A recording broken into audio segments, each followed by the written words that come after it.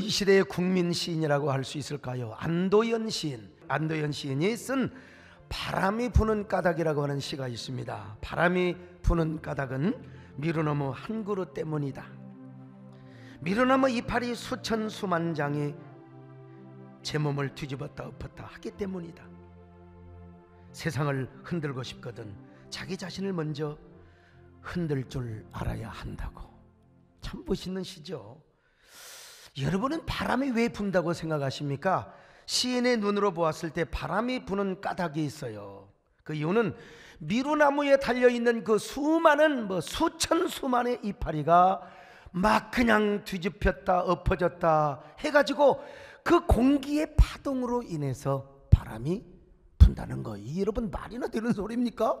바람이 불기 때문에 미루나무의 이파리가 막 뒤집어졌다 엎어졌다 하는 거 아니겠습니까? 그러나 시인의 눈으로 볼 때 이게 시입니다, 여러분.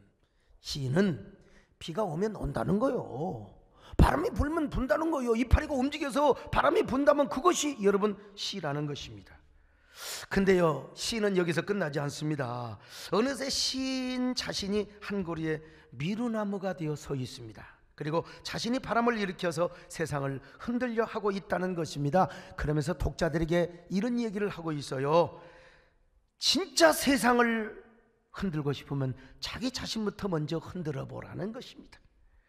저 미루나무에 달려있는 수천 수만 장의 나뭇잎들이 몸을 흔들어 바람을 일으키고 있듯이 당신이 정말로 세상을 흔들고 싶거든 여러분 자신을 먼저 흔들어 보라는 것입니다. 나는 이 시를 읽고 진짜 억울한 마음이 들었어요. 내가 쓰려고 했는데 그분이 먼저 써버렸어요. 어쨌든 내가 바람을 일으키든 타인이 바람을 일으키든 바람이라고 하는 것은 세상을 흔들기 위해서 나무를 흔들리든 나를 흔들건 간에 말이죠. 바람은 어느 것도 머물지 않습니다. 반드시 흔들고 지나가는 거예요.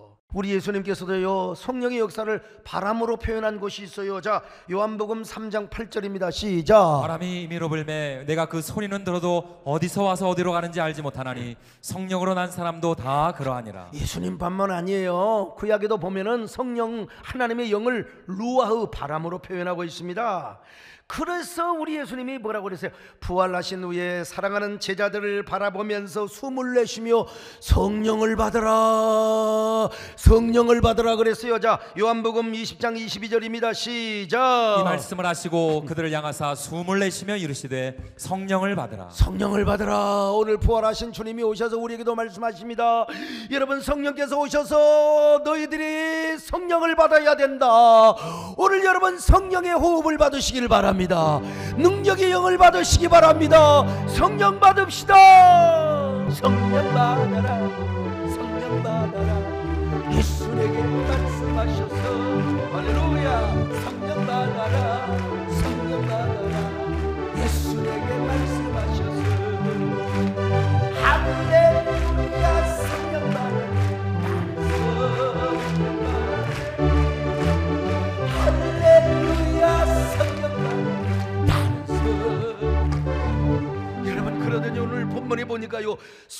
성령의 임재 사건을 급하고 강한 바람이 불어오는 사건으로 묘사를 하고 있습니다.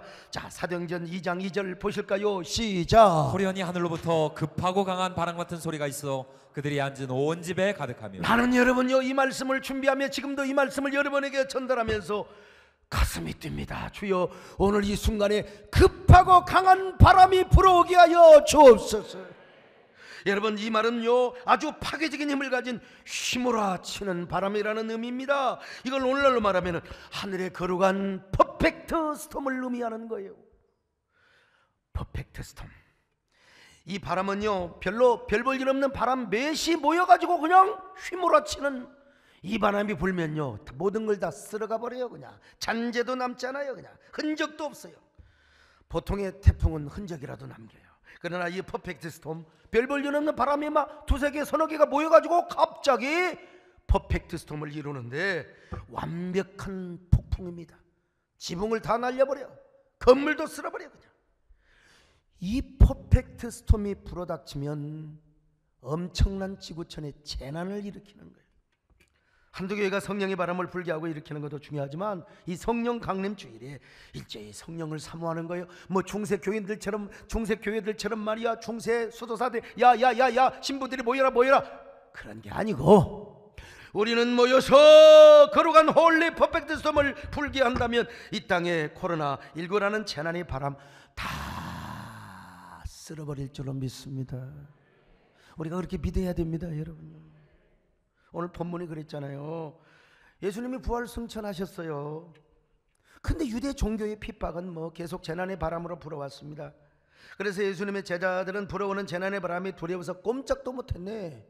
바깥에도 못 나가. 코로나 위기 때문에 그냥 어, 감옥 뭐 청살에 그냥 우리가 완전히 그냥 갇혀 있는 것처럼. 아 그들도 여러분요 다락방에서 그냥 꼼짝도 못하고 벌벌 떨고 있었어요. 그런데 오순절에 이르러 마가 다락방에 하늘이 열렸습니다. 열린 하늘을 통하여 여러분 성령이 임한 것입니다. 할렐루야. 성령의 바람이 불어왔습니다. 성령의 막 불이 임하였습니다. 그 모든 핍박의 재난의 바람들을 다 날려버리고 말았어요. 날려버리고 말았어요. 아, 참. 근데요. 성령이 급한 바람으로도 불어왔지만 세상에 성령께서요 풀의 혀가 갈라지는 것처럼. 자 사도행전 2장 2절로 3절을 보실까요? 시작. 호련히 하늘로부터 급하고 강한 바람 같은 소리가 있어 그들이 앉은 온 집에 가득하며 마치 불의 엿처럼 갈라지는 것들이 그들에게 보여 각 사람 위에 하나씩 임하여 있더니. 여러분 무슨 말입니까? 분명히 보니까요 보, 보이지는 않았는데 급하고 강한 바람이 불어오는 소리가 들리더니 눈에 보이는 게 있어요 막 불이 성령의 불이 임하는데 그 불이 어떻게 갈라지느냐 혓바닥처럼 갈라지더라 이거야. 이게 헬라어로 보면은 주어가 바로 푸른 묘사고 혓바닥이 혓바닥이 바람이 부는데 불이 막 갈라지는데 어떻게 갈라져요? 혓바닥처럼 갈라지더라는 거예요. 산불 날 때 바람 부면 누구도 못 끕니다. 헬기 바람 세게 불면 헬기도 못 들 뿐만 아니라 헬기가 막 다섯 대 여섯 대 떠도요. 바람 부는 걸 어떻게 잡습니까? 못 잡지요. 마가다락방도 마찬가지요. 성령이 불이 맺는데 급하고 강한 바람이 불어대니까 막 그냥 불이 막 해, 혓바닥에 갈라지는 것처럼 갈라지는 거예요, 여러분. 마가다락방에 모인 120문도 성도들에게 성령께서 막 급하고 강한 바람이 임하였을 뿐만 아니라 불의 혀가 한마디로 불이 혀처럼 갈라지는 말이야. 막 그냥 갈기갈기 갈라지는 것처럼 성도들에게 임하게 되는 거예요. 백의신문도에게. 그러니 여러분 혓바닥에 갈라지는 불 같은 성령을 이- 받았으니 그들이 가만히 있을 수 있겠어요. 성령 받은 사람들이 말이요 바람을 일으키는 거예요. 불을 일으키는 겁니다. 하늘의 거룩한 perfect storm이 흔들리니까 이제부터는요 그들이 하늘의 거룩한 perfect storm을 막 일으키는 거예요. 일으키는 거예요. 다시 말하면 불의 혀 같은 역사를 나타내고 다닌 것이다 이 말입니다. 성령 충만을 경험하니까 가만히 있을 수 있나?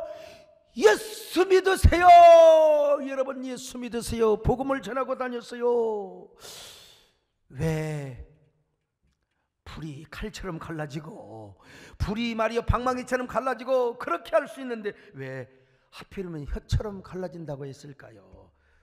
혀를 우리가 복음을 뭘로 전하느냐? 혀로 전해요.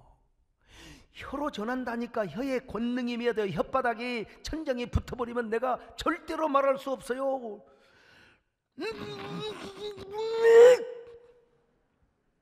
뭐라고 알아듣는 줄 아세요? 지금 조는 사람 깨워 그 말이야 지금 여러분 여러분. 내가 이렇게 지금 설교하고 있는데 왜 조느냐 이 말이야 지금 여러분 알아들어요? 못 알아듣잖아요. 음. 그런데 우리 혀로 복음을 전도하지 않습니까? 혀로 전도한다 이 말이에요. 그런데 그냥 혀가 아니요. 성령 받은 혓바닥, 성령의 권능을 받은 혓바닥에는 우리말에 권능이 있는 것입니다. 우리말에 능력이 있는 거요. 주여. 그러니까 기독교가 막 기하급수적으로 부흥했던 거요. 주여. 여기 부족한 종에게도 성령의 불의 혀같이 갈라지는 그 성령이 나에게 임하여 주시옵소서. 여러분 내가 그냥 원고나 짝짝 있고 배운 대로 그냥 지식 전달하면 되겠습니까? 주여 이 혀에 성령이 임해야 됩니다 여러분요. 불의 혀같이 갈라지는 능력이 임해야 되는 거요. 여러분도 전도할 때 여러분이 양육할 때 성령의 불이 임해야 되는 겁니다. 그리고 여러분이 전하는 그 언어가 성령의 임재 사건이 돼야 되고요. 오늘 여러분이 전해지는 이 말씀 하나하나가 성령의 퍼포먼스가 돼야 된다 이거요 그런데 그렇게 임했던 성령 강림 주일이 언제냐? 5월 31일이라. 5월 31일에 우리 교회에 놀라운 역사가 임했으면 좋겠습니다. 우리 교회뿐만 아니라 우리 한국 교회에 놀라운 역사가 임했으면 좋겠습니다. 이 코로나 19를 그냥 뭐요 그냥 하늘에 거룩한 성령의 퍼펙트 스토입니다. 쓸어버리시기를 바랍니다. 여러분 바람이 불러야 모든 걸 쓸어가요. 특별히요. 폭풍이 불어봐요. 아니 저 퍼펙트 스톰이 불어봐요. 바다가 해일이 넘치고 쓰나미가 와봐요. 막 그때는 뭐 물이 그냥 뭐 그냥 뭐 얼마나 그냥 성난 파도처럼 보이지만 나중에 폭풍이 다 지나가고 해일이 다 쓸고 지나가 잔잔한 그 바다를 가보세요. 얼마나 깨끗하고 얼마나 푸르른지. 그러니까 여러분 오늘 우리 사회에요 거룩한 정화가 이루어지기 위해서는 성령이 바람이 불고 지나가야 됩니다. 그러니까 여러분 평양 장대현 교회처럼 한번 하늘의 거룩한 퍼펙트 스톰이 불어와야 돼요. 이 시대를 쓸어버려야 됩니다. 동성애, 음란 문화, 그리고 반기독교 사상 이런 것들 다 쓸어버려야 돼요. 신천지, 이단 이거 다 쓸어버려야 돼요. 먼저 우리 교회 이런 바람이 불기를 바랍니다. 보이지는 않지만 이런 바람이 불어가지고요. 이런 바람이 막 두 개, 세 개, 네 개, 다섯 개 합쳐져 가지고 여러분요 어떻게 해야 돼요? 성령의 거룩한 하늘에 퍼펙트 스톰이 불어줘야 된다 이 말이요. 주여 오늘 우리 교회뿐만 아니라 우리 한국교회 다음 주에 이런 역사가 있게 하여 주시옵소서. 이 땅에 황무함을 보소서. 하늘 의 하나님 긍휼을 베푸시는 주여 우리의 죄악 용서하소서. 이땅 고쳐 주소서.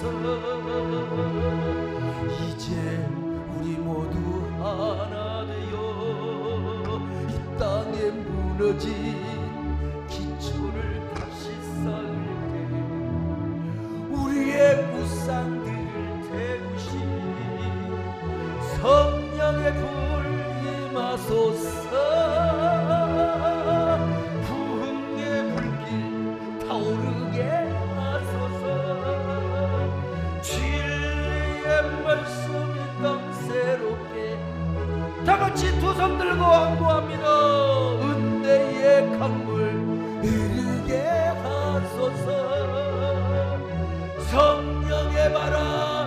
이제 영광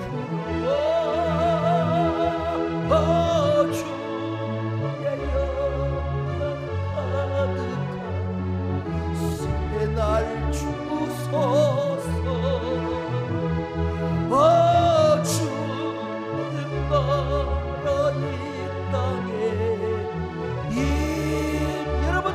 들고 다시 한 번 합니다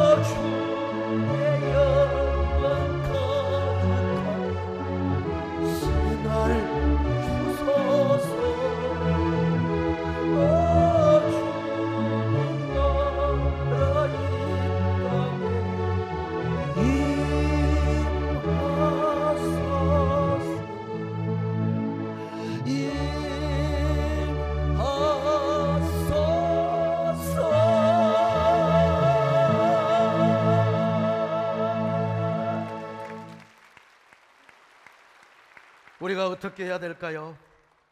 어떻게 이런 역사를 일으켜야 될까요? 먼저 우리가 회개 운동해야 됩니다. 회개 운동. 예루살렘 마가다락방에 함께 모였던 120명의 문도들은요. 하나님의 약속하신 성령을 기다리며 모여서 기도했습니다. 모여서 기도했어요. 자, 사도행전 1장 14절 보실까요? 시작. 여자들과 예수의 어머니 마리아와 예수의 아우들과 더불어 마음을 같이하여 오로지 기도에 힘쓰더라. 오로지 기도에 힘썼어요. 기도하면서 뭐 했을까요? 당연히 회개했죠. 아니 그들은 지금 예수님을 다 부인했던 사람이 예수님 십자가에 죽을 때 다 도망갔어요. 그러니까 이거 회개 안 할 수가 있어요. 당연히 회개했죠. 당연히. 그래서 베드로는 오순절에 성령 체험을 한 후에 맨 먼저 어떤 메시지를 전했을까요? 야 성령 선물로 받으려면은 회개해라 회개해라 회개해라 회개해라 자 사도행전 3장 사도행전 2장 38절 보실까요? 시작 베드로가 이르되 너희가 회개하여 각각 예수 그리스도의 이름으로 세례를 받고 죄 사함을 받으라. 그리하면 성령의 선물을 받으리니. 회개하고 각각 예수 그리스도를 회개해야 되는 겁니다. 여러분 무엇을 회개해야 됩니까? 오늘 우리는 코로나 19가 닥쳤을 때 너무 두려워했던 것도 하나님보다 우리가 더 두려워 버렸어. 그러면 우리가 회개해야 돼. 두려워해야 될 분은 하나님이십니다.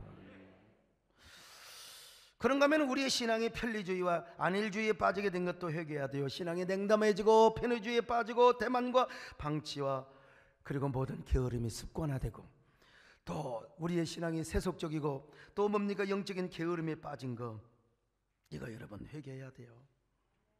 각장 회개할 수도 있어요. 각자 그러나 모여서 저 120문도가 함께 모여서 얼마나 얼마나 눈물로 기도했겠습니까? 우리의 죄뿐만 아니라 우리 민족의 죄와 조상의 죄를 느헤미야가 여러분 뒤집어 쓰고 기도했지 않습니까? 우리도 그렇게 기도하며 회개해야 됩니다. 주님 우리를 정결하여 주시옵소서. 우리의 잘못을 용서하여 주옵소서. 그러니 주여 성령의 바람이 불어오게 하여 주옵소서.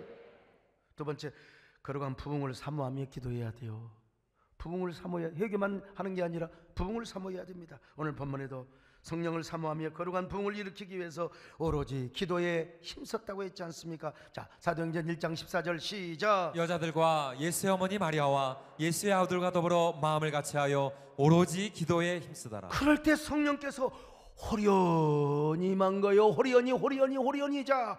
사도행전 2장 2절로 3절 봅니다. 시작. 호련히 하늘로부터 급하고 강한 바람 같은 소리가 있어 그들이 앉은 온 집에 가득하며 마치 불의 엿처럼 갈라지는 것들이 그들에게 보여 각 사람 위에 하나씩 임하여 있더니 여러분요. 호련히 임한다. 호련이란 말이 헬라어로 아프노란 말이요. 영어로 suddenly 갑자기란 말이요. 예. 이거 여러분 참 외우기 쉽죠. 헬라어로 아프노 그러니까 갑자기란 말이잖아. 갑자기 아프노? 어디가 아프노? 여러분 성령은 언제 임할지 모른다는 겁니다. 하나님의 주권에 의해서만 임하는데 언제 임할지 몰라. 근데 언제 임할지 모르니까 우리가 해야 될 일은 뭐냐? 사모하는 겁니다. 기도하는 겁니다. 간구하는 겁니다. 여러분 역사적으로 보면 기독교의 부흥의 역사를 보면은 그 당시에 성도와 영적 지도자가 부흥을 사모했느냐 안 사모했느냐에 따라서 역사가 갈리었어요. 기독교 가치와 청교도들이 간절한 신앙으로 세웠던 미국도 마찬가지예요. 엄격한 규율과 그리고 계명의 종교로만 전락이 됐어요. 심령이 메말랐어요. 그러니까 몇 사람 안 모이도 맨날 싸워 정지하고 미워하고 말이야 증오하고 맨날 법만 따지고 말이죠. 우리 한국 교회 보세요. 한국 교회가요. 막 성령 받아라 은혜 받아라 이런 부흥사가 점점 사라져요. 그리고 법을 연구하는 사람들이 막 뜹니다. 그래갖고 막 교회 분쟁이 있는 곳에 막 법적으로 가서 자문을 해주고 이거 여러분요 참 문제입니다. 예? 우리 교회도 이제 언젠가 그럴 날이 있을지 몰라요. 막 교회 법 전문가를 막 데려다가 그냥 막 자문 받고 이쪽 저쪽 여러분 교회 깨지는 거예요. 그러면 음, 완전히 쇠퇴하는 거죠. 교회는 여러분 부흥을 사모해야 됩니다. 성령을 사모해야 됩니다. 그래서 미국 사람들이 답답하고 클컬하기 시작한 거예요. 깨달았어요. 아, 그 깨닫는 것이 영적인 각성입니다. 각성이요.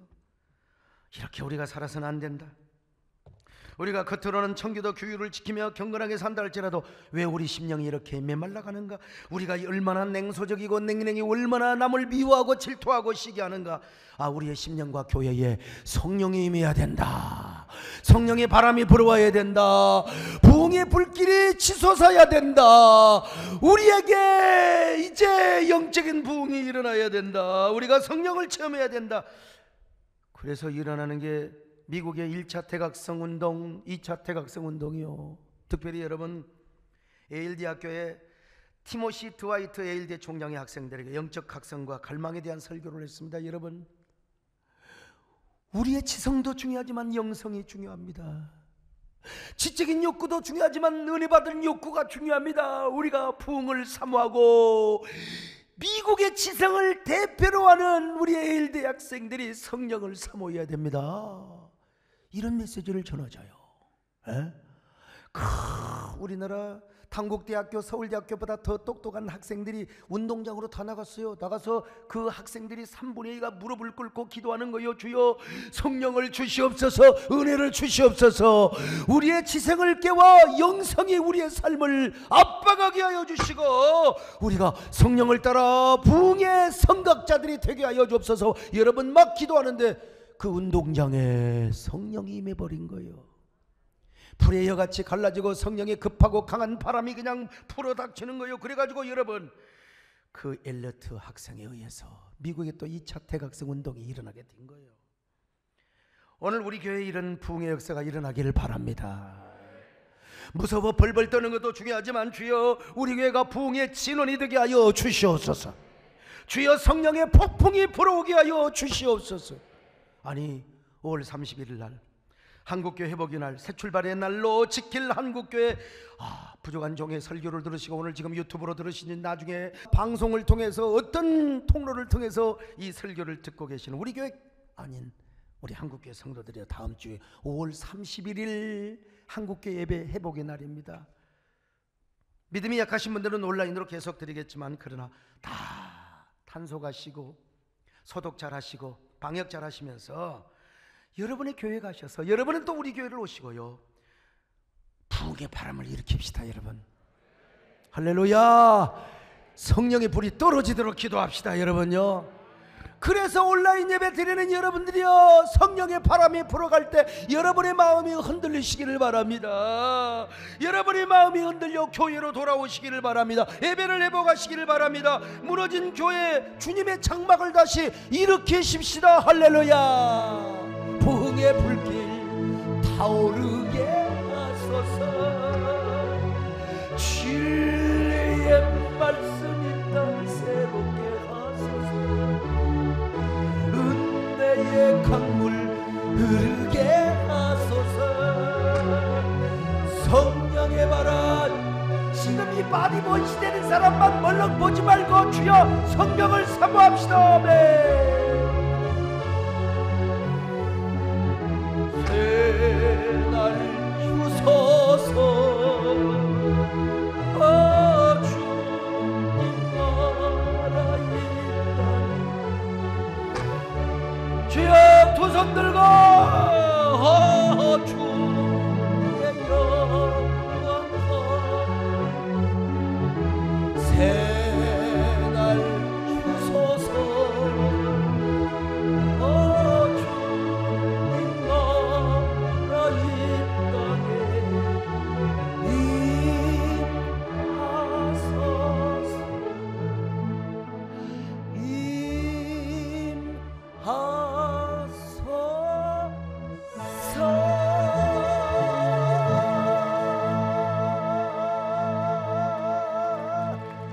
번째로 거룩의 능력을 회복해야 돼요. 그럴 때 우리가 회개도 하면서 참된 거룩의 능력을 회복하게 되는 거예요. 바람만이 모든 걸 다 쓸고 갑니다. 바람은 성령의 바람이요. 그냥 성령의 바람이 아니라 급하고 강한 바람, 하늘의 거룩한 퍼펙트 스톰. 이 바람이 우리 마음에 풀어가게 하옵소서. 보이지는 않지만 바람이 보입니까? 그러나 바람이 불면 나뭇잎이 흔들리고 바람 소리가 들리잖아요. 그 바람을 사모합시다. 5월 31일 날 하나님 우리 한국교회 재단이 피고 비인 우리의 재단에 불을 나리고 주시옵소서. 우리의 심령에 불을 주시옵소서. 그런 저와 여러분 되시기를 주님의 이름으로 축원합니다.